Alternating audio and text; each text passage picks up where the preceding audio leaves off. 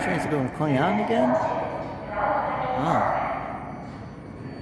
I guess this Geo didn't last long.